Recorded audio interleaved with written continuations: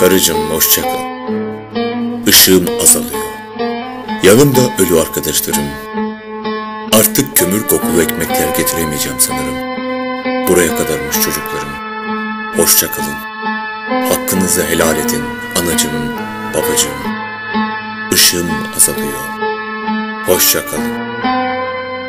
Üstüme değil, içime çöken ocağın sessizliğinde tek tek seslerinizi duyuyorum, yüzlerinizi görüyorum.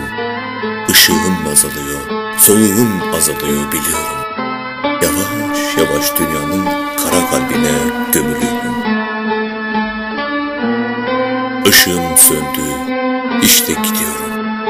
Ah en çok da şimdi bir bilseniz. Nasıl da bulutları, ağaçları, gökyüzünü özlüyorum.